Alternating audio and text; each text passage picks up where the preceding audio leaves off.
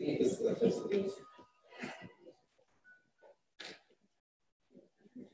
shine will open with the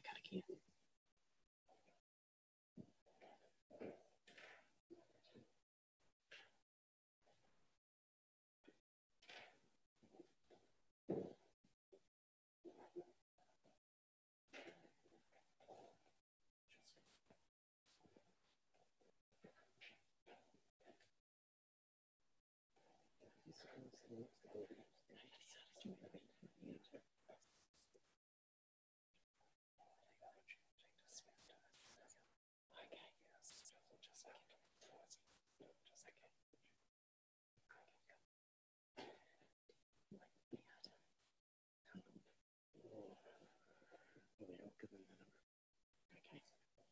Okay.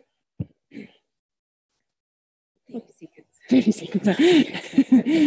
uh, good afternoon, everybody. Welcome. Goodness, that sounds really out. Um, welcome to today's extra um, ordinary um, SPNP um, committee meeting. Full deck there. Great to see. Lots of in interest in our um, agenda today. Um, particular welcome to Leon. I thought you were going to be zo zooming in, but you've graced us with your presence. Welcome. Shane, could you please open the meeting? Karakia.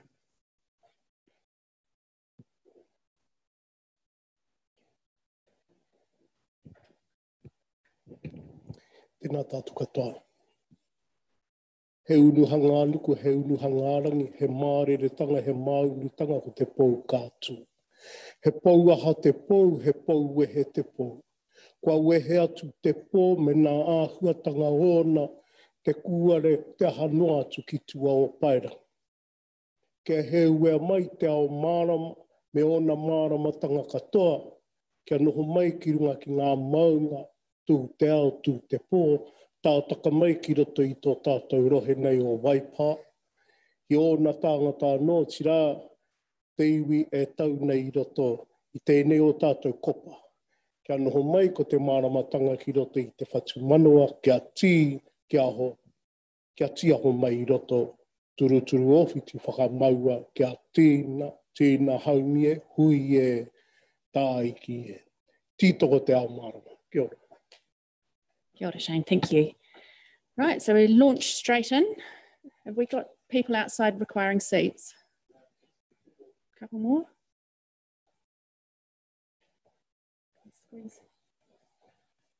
Shouldn't, didn't pull that chair away from them here.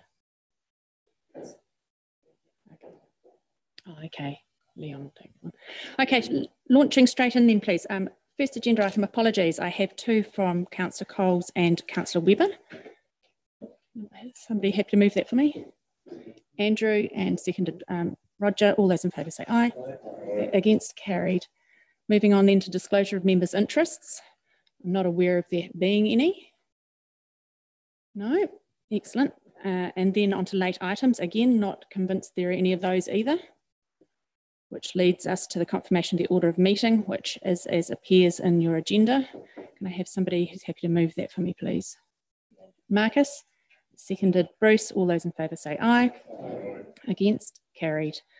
Takes us to the confirmation of minutes from our previous meeting. So on page eight of our agenda, just flick through those pages as we do, page nine, and 10, 11, 12, 13, clear.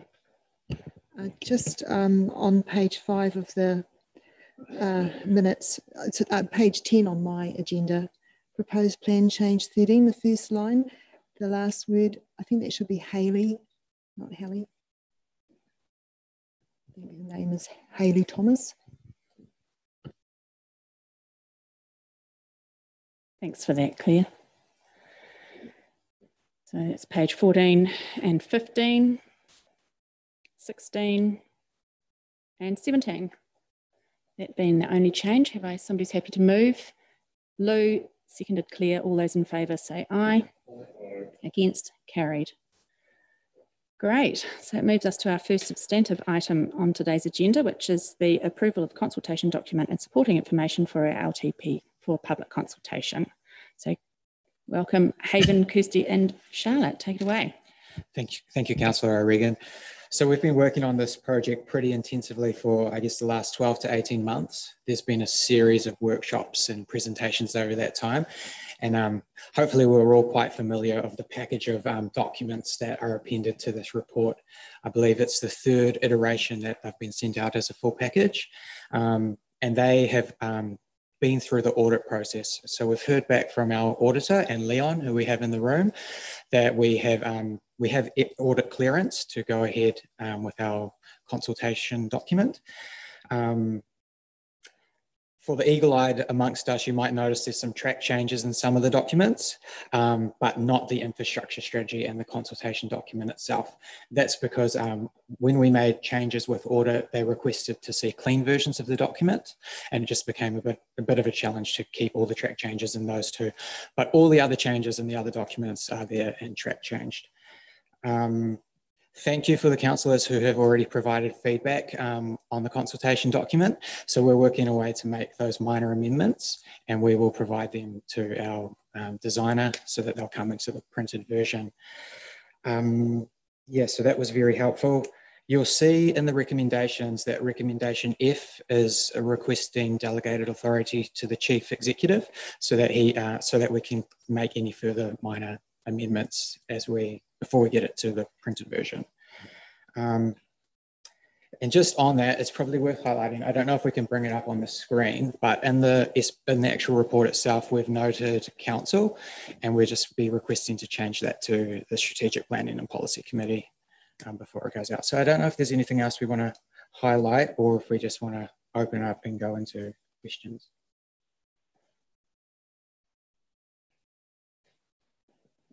Um, so through the chair, ora koutou, just in terms of the changes that Haven has referred to, um, they are through the recommendation where we've previously referred to or do refer to council and the recommendation that we're um, uh, requesting of you is to change the word council to strategic planning and policy committee. Um, so if, if comfortable, we'll ask that the chair present that to you at the appropriate point in the meeting. Um, we have had feedback, as Haven mentioned, from some councillors with some um, amendments being requested, um, typos and things that we as staff had also picked up on. So um, there is that um, provision within the recommendation section that does provide um, the chief executive with delegated authority to make minor amendments and we are comfortable that the majority of those um, in reviewing them do fall within that scope of a minor amendment. We've also been provided with some feedback about the consultation document itself in respect of Memorial Park.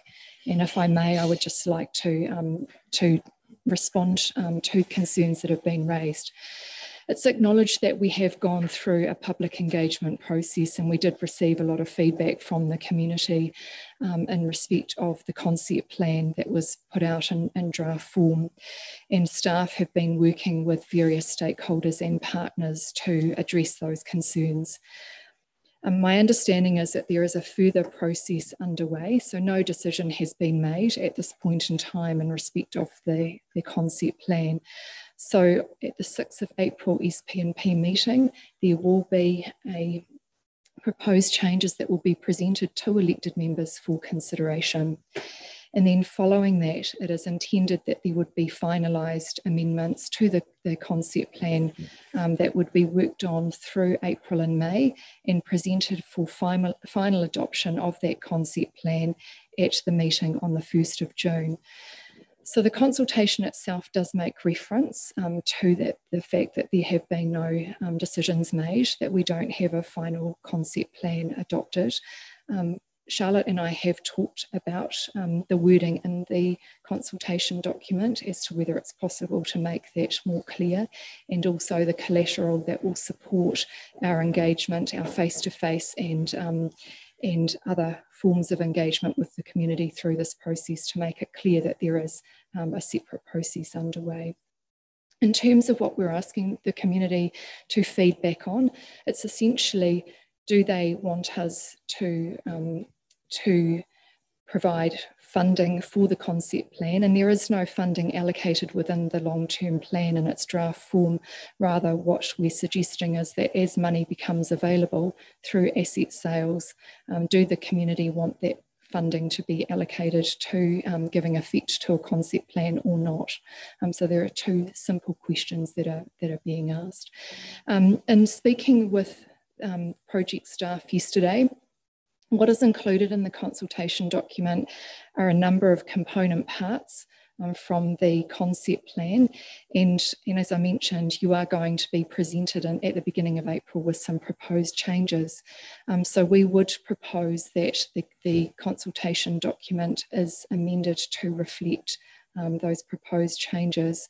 Um, so for example, there's a bullet point there, pergola realignment and refurbishment. And I think um, we're not proposing that we will realign the, the pergola. So we would be seeking to delete that word realignment.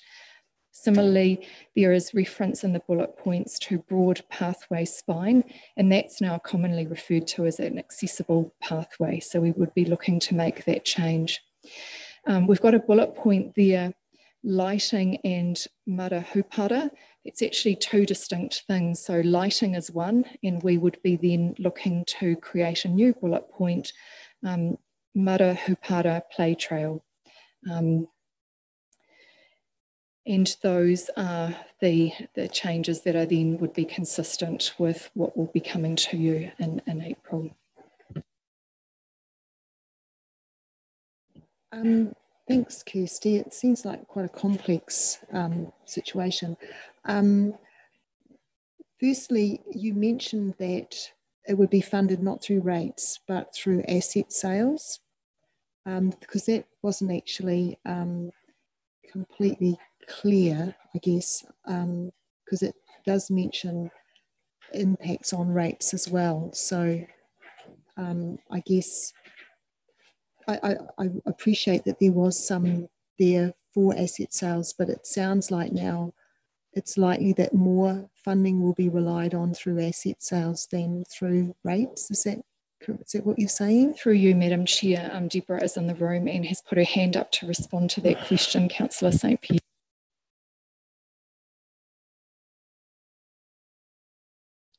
The asset sales that they're planning would be used to fund the capital work, not the operating. So the rates implication will be for the operating costs and we leave the um, sale of the assets to actually fund capital work. I, I have another question though, and that was that the um, introduction to the um, topic mentioned that we need your help to decide which comes first, uh, but the options that currently are being there are it's all or it's nothing. And so with the changes that are proposed, you know, the separate process, will the options be sort of stretched out a bit more so you can actually decide at what level the funding will go, you know, so what could be given priority and yeah, so rather than the all or nothing approach. So I, I had the same, I noticed the same for the Cambridge um, Lake Te as well. Yeah, whether or not it's there'll, there'll be sort of feedback from the community sort so that we can look at what's the most important stuff to do first. Yeah. So through you, Madam Chair, um, there will be that opportunity to provide feedback, yes. Just ask a, a, question in terms of just getting, and every time you read the document, you pick up another really minor thing. So, and you've said that we can do some minor alterations. What's your absolute deadline if councillors pick up on anything that you need this information because that's really critical, isn't it? Um, anything pressing would be um, prefer to get that back within the next 24 hours so yep. that we can get this to the printer. Obviously, we need to print a few copies to help with our uh, consultation process. So that would be really appreciated um, if you could get those those amendments back as soon as yeah. you can. Okay, so everyone's got that message. It's if you've got something, we need to get it to the staff so that they can get this. And, and these are just typos and things like that. They. So through you, Madam Chair, um, any any feedback in that vein should be directed to Haven. Um, he is completing, working with the, the master copy, if you like. Um, so as I mentioned earlier, we ourselves have picked up things as we've gone through with a fresh set of eyes.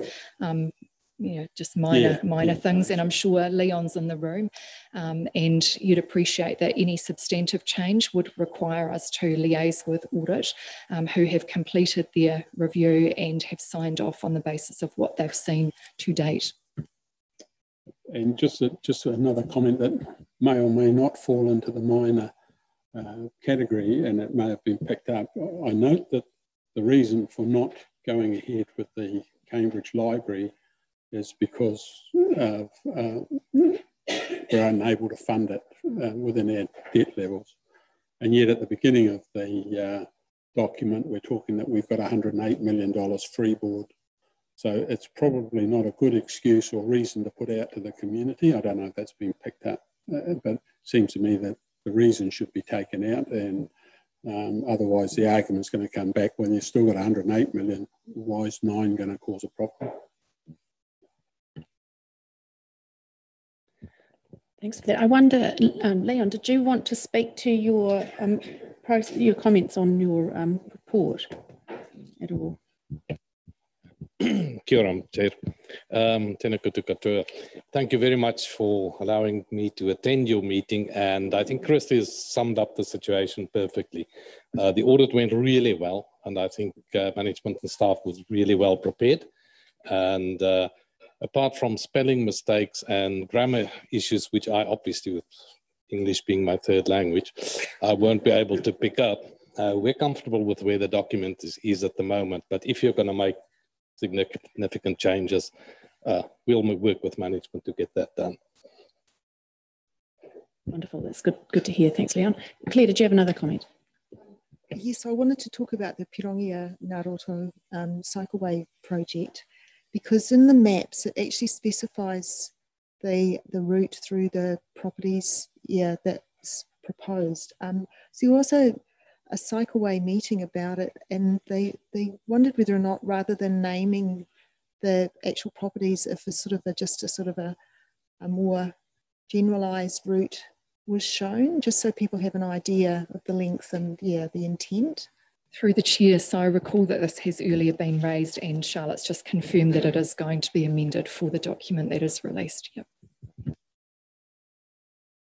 Any other questions or comments from anybody? Um, through the chair, can I please just thank the elected members for the way in which you have partnered with staff to um, get the draft LTP consultation document and supporting um, documentation to this point. Um, it has been long, challenging. There is a very significant um, quantity of documents that we have compiled. That is a legislative requirement, but very much appreciate the way in which you have worked with us.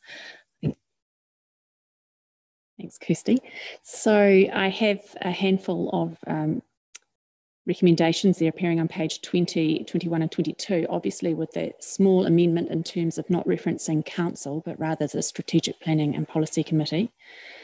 Uh, there are nine recommendations there. Are we happy to deal with them all at once or Roger? Uh, just a question of clarification.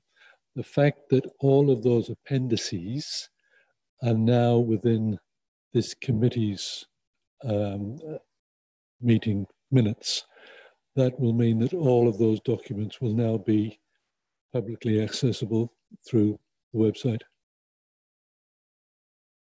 Through the chair, um, the documents have been made available on our website with the as part of the agenda, so they are publicly available and will be now that they're um, they've been released as part of the supporting documentation. Thank you. So we have those uh, recommendations there. We're happy to deal with them all at, at, at, once. They, I see no reason not to. So do I have anybody prepared to move? Liz, you're happy to move? Delighted to move. And do I have somebody happy to second? Jim will second it. All those in favour say aye. Against? Carried. Hey, thank you so much. Well done, staff. It's been a mammoth, mammoth effort from you all and it's much appreciated. And thank you for working with us too, Kirsty. Right.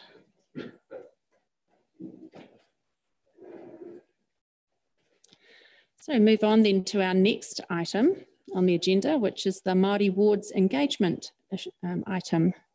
And Joe, I believe, is here for that. Have a seat, Joe. And Gary.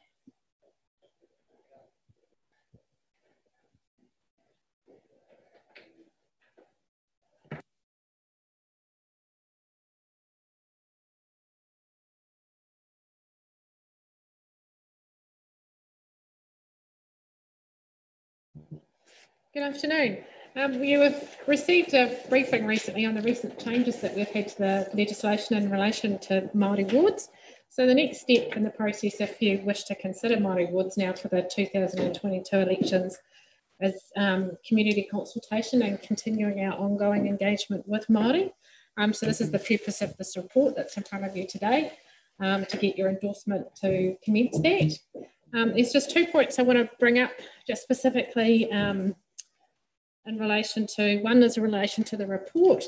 Um, there is a figure of 15% in the consultation document in terms of those uh, percentage of population that identify as Māori, and you'll see in the report, I don't know if you picked it up, they actually had a figure of 18.7. Um, that figure is actually more aligned to the, the um, number of Māori in our area that actually are of Māori descent. So what we're proposing is that we actually use across all our messaging is that 15% figure, which is those that identify as Māori.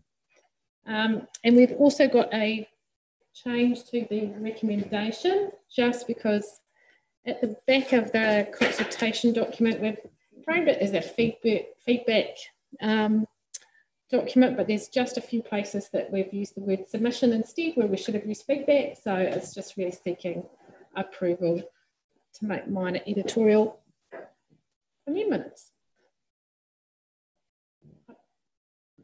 I can read that out. I, I, can read. So oh. C would now be approve the consultation document included in Appendix 1 of this report, document number 105687770, for use in the consultation of Māori wards, subject to minor editorial amendments, in particular in relation to replacing the word submission with the word feedback in the document as appropriate.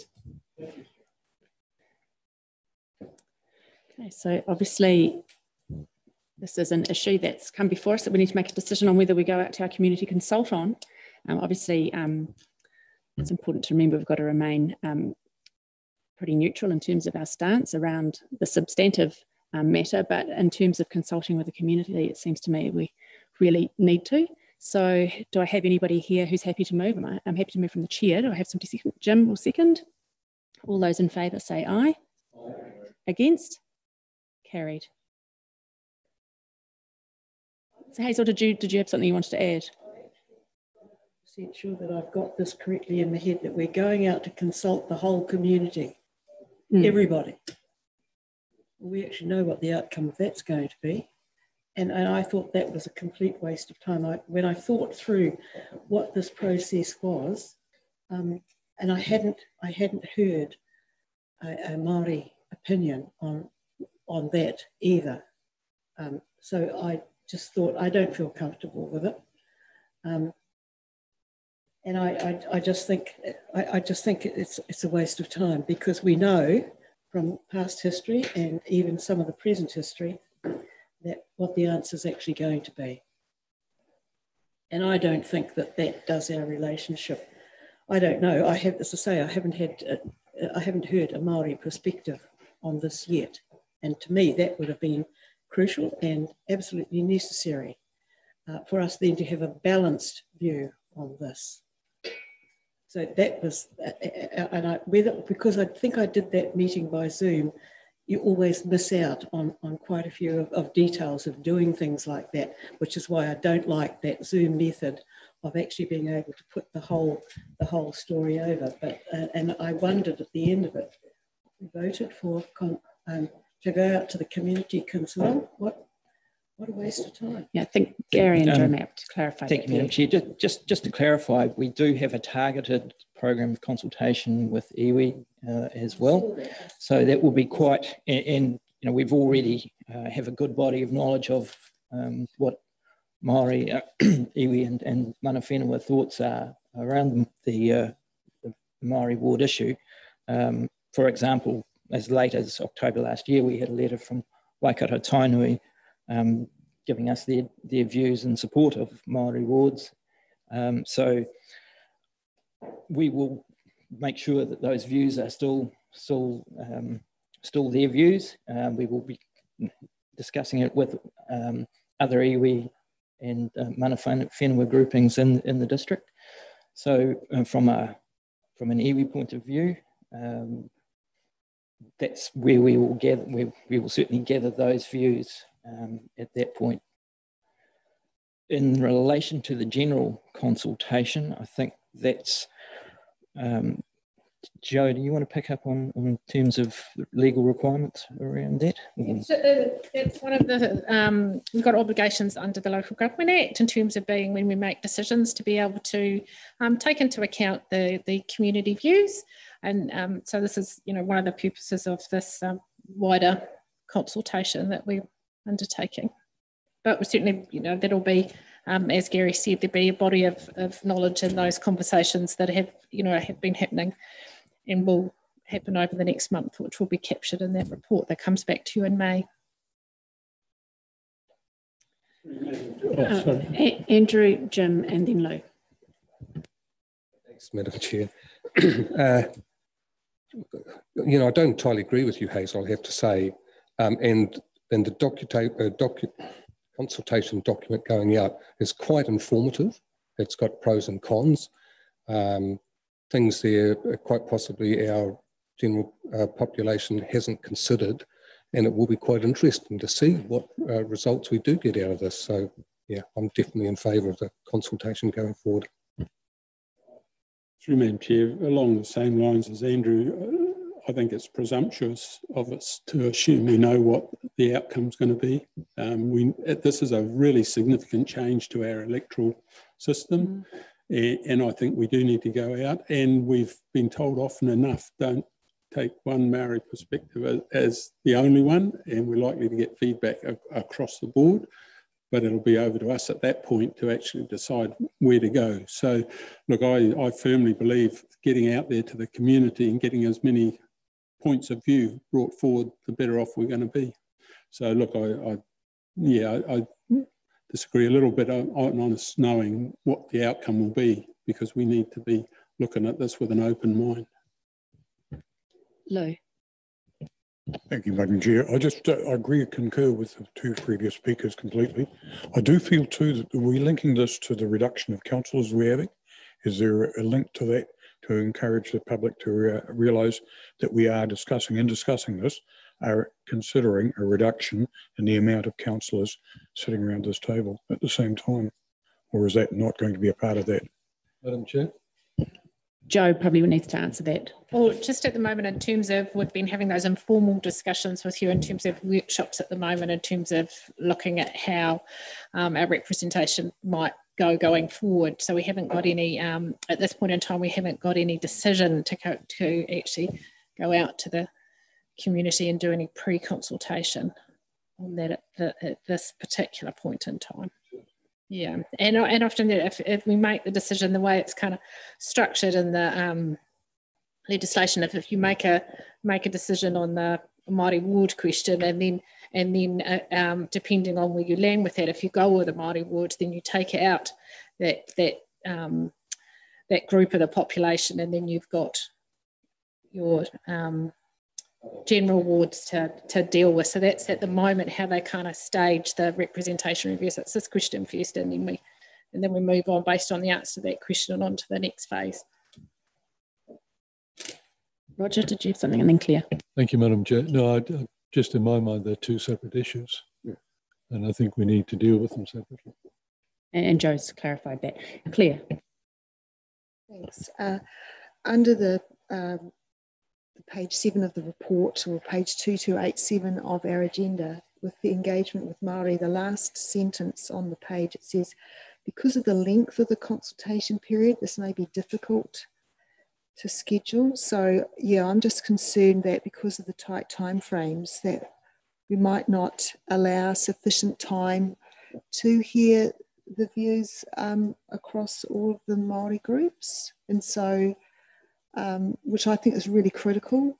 And and so I just want to get some assurance from you that you think that the time allowed hmm. has been sufficient. That that the Maori groups themselves aren't actually going to feel under pressure, and perhaps we're we're not allowing them you know, the time they need, which is one of the key requirements of our significance and engagement policy.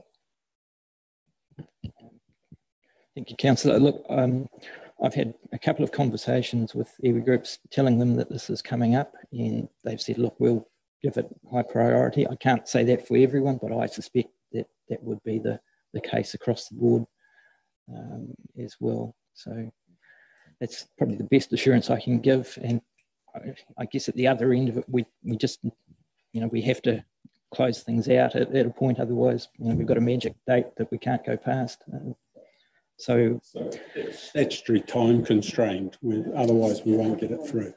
But yeah, we are pre-warning that that something could be on the way pending a your decision today.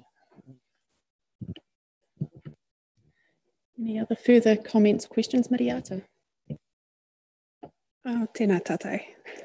Um, so I know our Te Kanohi representatives, along with uh, Shane and others, uh, have been a part of, of the designing of this um, consultation document to go out.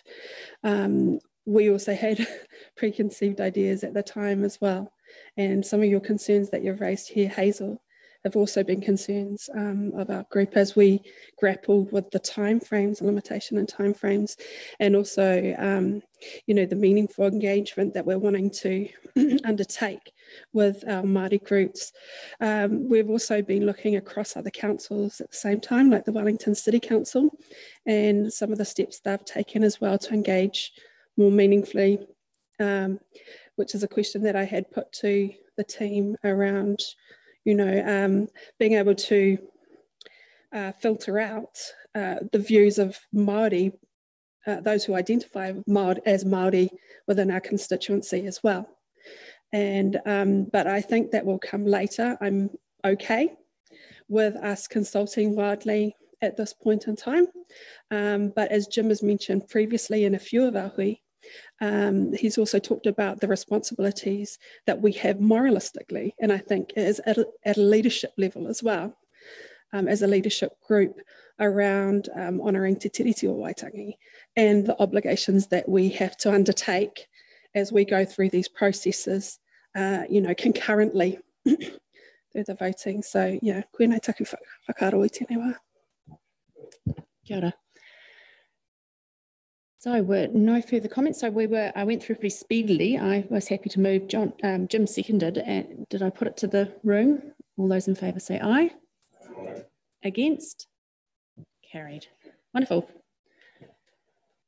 So that moves us on then to a resolution to exclude the public.